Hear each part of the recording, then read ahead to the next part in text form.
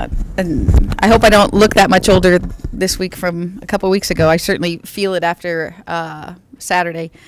Um, but uh, still here and, and still here this week, so that means good things are happening with the women's soccer program. Uh, we went down to Columbia, Missouri on Saturday uh, for the first round of the NCAA tournament um, and defeated University of Missouri in a pretty exciting uh, penalty kick solution at the end of the game. Um, we scored first in the first half. It was pretty windy and, and certainly a, a game of, of two halves. Um, we scored uh, probably about halfway through the first half. Uh, great goal by Ali Osoba, who's certainly been coming through for us here um, of late. And um, and then really had to weather the storm. They got the wind at their back in the second half, and it's a pretty athletic team that likes to play balls pretty long, so the wind certainly helps them, and they put you under pressure. And um, we said going into the game at some point we would have to weather the storm, that there would be a, a, time where Missouri really came at us and threw things forward, and, and that was certainly the case in the second half. They scored a great goal about midway through the second half.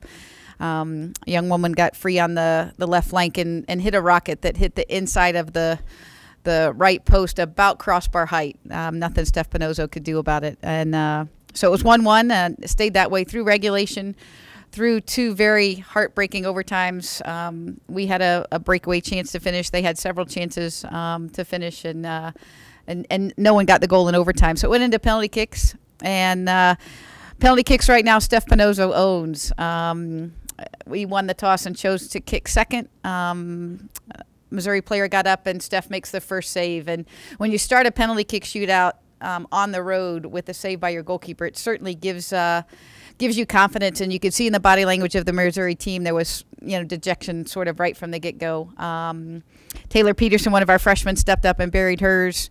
Um, Steph then steps skips into the um, goal mouth from the side of the goal and uh, proceeds to save the second one.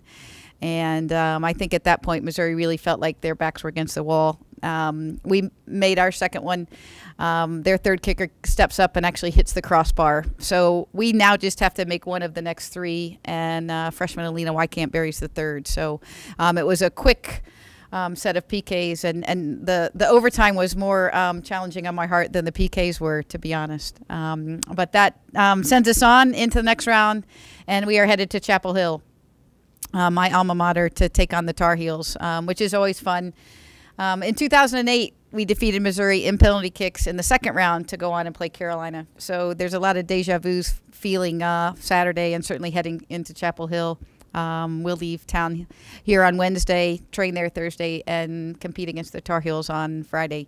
And uh, if we were to win that game, we'd play the winner of the Georgetown Baylor game, who will also be hosted there in Chapel Hill for um, the second round of the Sweet 16. So, really looking forward to headed back to Chapel Hill and, and taking on a very good Tar Heel team the adversity you've had to overcome. Um, I mean, obviously with you and V being gone at the beginning of the season, but now with what you experienced at the Big Ten tournament and then at Missouri, just how much more confident are you in your team, and, and what does that say about you guys going forward? Well, you know, there, there's two things I can say about this team. Is, is I don't know that I've, I've coached a team that has this kind of fight in them and, and the kind of heart that they've played with.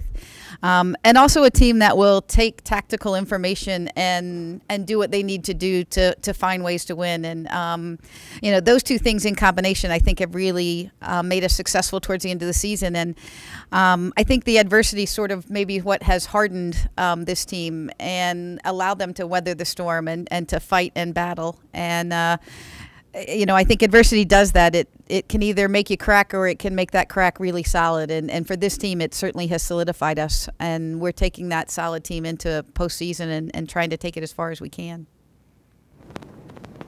I don't think we've lost a PK shootouts in about four seasons. Uh, talk about uh, some of the preparations you've made as a coaching staff and as a team to uh, be so, so effective in those situations. Uh, you know, I think it's it's it's the one situation in soccer that's pretty repeatable. Um, you know, there's not too many situations in soccer where um, it's a, a, repeatable closed chain kind of thing. So, you know, I, I, think the thing we've done is try to give them repetition and try to put them in a situation where they can be confident. And the the thing about that right now is I think we have a goalkeeper who has the right mindset going into penalty kicks. Um, she was asking the press conference at Missouri what it was like to carry the weight of the shoulder on her teams going into penalty kicks, and she said it's exactly the the opposite. Um, the weight of the the team is actually on the shooters, and you know my job is to make it as difficult on them as possible. If they hit it right, I can't save it, but if they don't, then it's my job to save those penalty kicks. So I go in as loose as I can, and like I said, if you saw her, she skipped her way into the penalty box and and and does her job. And when you've got a team and you see that kind of attitude from your goalkeeper.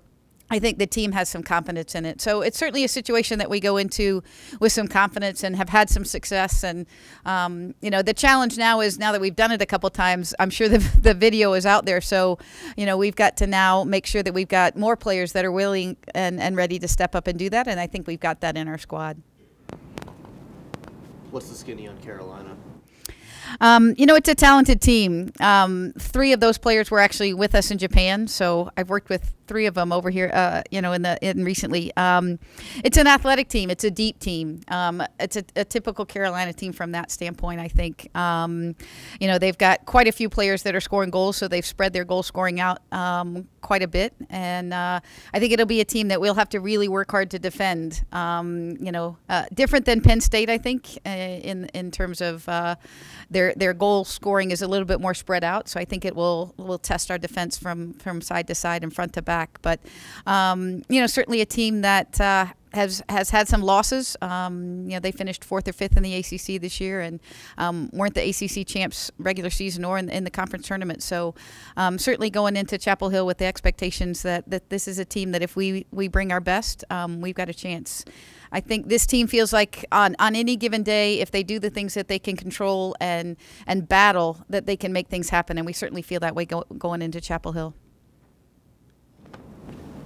You beat Penn State, another top seed in the tournament. Can you use that win as a building block to take on another top seed in Carolina? Absolutely. I think it's a, a, game like that that gives you that confidence, that gives you the confidence that on any given day, and and that was a team that you know had beaten us four to nothing earlier in the year, and I think it we use that to show how far we've come as a team, but also to show that uh, when we get out and fight and do the things that we're capable of doing, that on any given day we can beat any team. And anytime you get into the NCAA tournament, you can't look at how many games you have to win.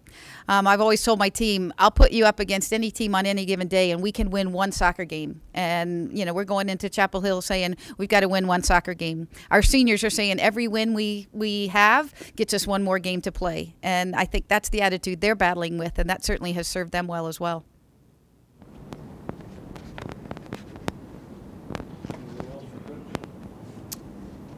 Thank you.